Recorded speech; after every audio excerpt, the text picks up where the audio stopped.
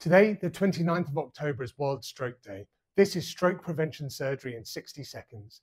Did you know that one in four people over the age of 25 will have a stroke in their lifetime? Vascular surgeons can prevent strokes. Most strokes happen when a blood clot blocks an artery supplying the brain, often from a narrowing in the carotid artery in the neck.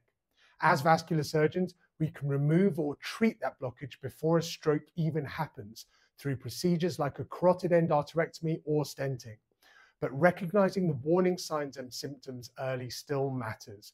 Remember FAST, face drooping, arm weakness, speech difficulty or slurring, time to call for help. If you or a loved one experience these symptoms, don't wait. Get checked. And if you have carotid artery disease, talk to a vascular surgeon because vascular surgeons don't just save limbs, we save your brain too.